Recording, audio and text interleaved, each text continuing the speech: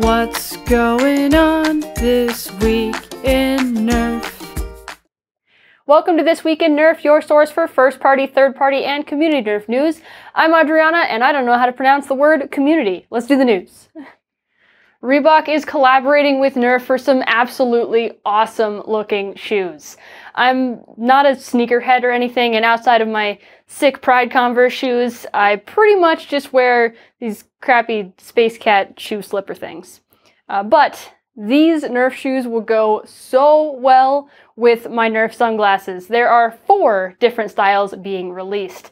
The Pump Omnizone 2 Light Jammer is mostly orange with some neon green, sky blue, and highlighter yellow. I love the embroidered Nerf logo. And there are two variants of the Kamikaze 2 Low. The first is mostly black with magenta, neon green, yellow, and a transparent blue sole. And they're embroidered with a maximum attitude in front of the laces, which is fun. The second Kamikaze Low actually looks like a high top, uh, and this pair is funky. It features an asymmetrical color pattern with both shoes colored differently than the other. There's also a mix of suede, leather, plasticky materials, and mismatched laces, and uh, funky is the kindest word that I have. But both Michelle and I's favorites are the black and pink Pump Omnizone 2s. They're a little bit less in your face than the other ones, with a predominantly black shoe with pink splatter and yellow and blue accents. I want these so badly. There's no word on pricing just yet, but supposedly these will be available at multiple online stores on June 25th at 10 a.m. Eastern. I really, really, really hope these don't sell out instantly to scalpers because I do think that people in our hobby will really like them. We mentioned the Matrix Fire in the last episode, but now Dartzone has published an official blog post about it, as well as a link to a Walmart listing. So, the Matrix Fire is a 30 round full auto hoppered flywheel blaster, and Dartzone is claiming that it should have the same performance as the V Twin belt fed blaster, which, according to a Coop review, is 82 FPS on average. That means if it feeds consistently, it'll be a really good HVZ contender right out of the box. And with some simple mods or a LiPo or a nickel metal hydride pack, you can get really good performance for both HVZ and even light superstock. Uh, Dartzone is claiming three rounds per second on this, and Primetime Toys has a patented dart hopper mechanism, uh, which they claim makes reloading faster than ever. It comes with 30 of the famous Adventure Force waffle darts and should be available from Walmart online uh, by July 1st and in stores by July 15th for $29.97. All three Nerf Hyper Blasters hit Amazon this week. So I've got some quick thoughts on each blaster with some of the new information that we've gotten. First up is the Rush 40, the pistol style blaster. It has to be held upright or tilted backwards when priming, or it could fail to breach. Otherwise, it's probably the best of the bunch. It's definitely the most compact way to carry 40 rounds, and at about the same size as a Kronos, which is pretty awesome. Uh, this blaster makes the most sense out of the entire line for our hobby, since for a secondary, it doesn't need to be long range anyway. And then there's the Pump Action Siege 50, probably the second best out of the line. It's more accurate than the other options, but still has issues with inconsistent breaching of the rounds.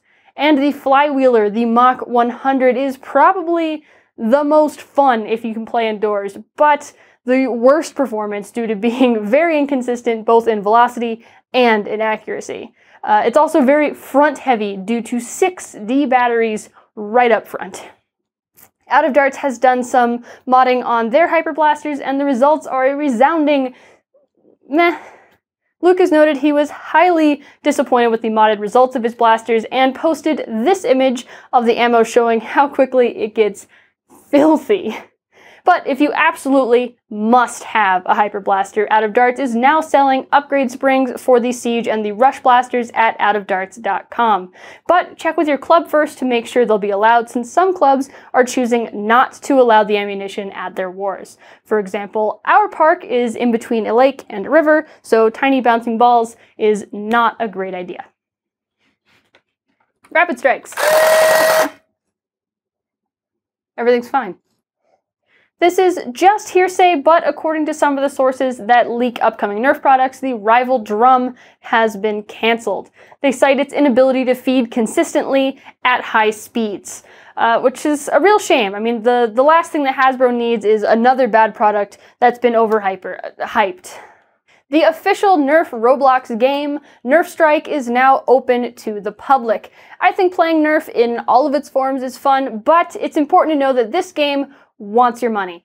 Blasters, gear, and equipment are all gained through crates. Some crates are given to you through leveling up, others you have to buy, and then some crates you also need to purchase keys in order to open them. It's a lot. That said, the maps aren't bad and the gameplay is fun. There has been real photos of the Worker Swift that has been now posted to Worker Toys Facebook, along with a video showcasing the takedown features and spring swap ability. Uh, it's it's a pretty cool blaster. Uh, it has the painted details that we saw on the render. It also features two metal sling points, which is unclear whether they're included or not. And you can see a very long orange aluminum barrel, so hopefully this thing hits pretty hard. It's also pretty cool. The spring swap looks easy. We have found some images of the Reflex 6 Royale Edition. It's just like the Reflex 6, but this time in gold and blue. It was posted to toywiz.com for $15.99 pre-order and claims to be shipping by August. We also found some more pixels in this double pack. These blasters look amazing. It looks like we're getting disruptors in more colorways. Unfortunately, no images exist other than the frustration-free packaging. Uh, they're listed currently as sold out, but the colors will be transparent red, dynamic green, and reflex blue. Uh, they'll be available at some point. Uh, they all claim to be Amazon exclusives, and there are no prices just yet. Do you want a long boy Talon, but you don't have a 3D printer? Well, you are in luck, and Out of Darts has you covered with this new 29 round Talon compatible mag. It is Luke's first injection molded product. Luke is claiming this handles up to 25 rounds per second with zero consistency issues. it's just so long maybe way too long. Uh, I've seen people like Ton run ridiculously long mags though, so who am I to judge? It's it's just so funny. There might be a Perses competitor in the Adventure Force line. Introducing the Monolith. This is a flywheel blaster with slightly less capacity than the Perses at 40 rounds, though it looks to be enough space in there to be able to hold 45. Uh, in Drax review, he noted that the rounds come inside of the hopper already, which is a great way to reduce plastic packaging. So Hasbro, take notes. That's how you do it. Uh, it has a really comfortable grip, at least according to Drac, uh, with a rubberized stock and a bump stop on the bottom of the uh, of the grip. So if you knock it on the table, you're not going to scratch up your blaster too badly. And it's not too bad over the chrono. It hits just under 100 FPS and is pretty consistent um, velocity wise. You will have a little bit of feeding inconsistency, just like all hoppered conveyor blasters. That's just that's just physics, really. And you can fire hyper rounds through it if you really want to, but that's a little bit more inconsistent, uh, getting between 70 to 95 FPS all over the map.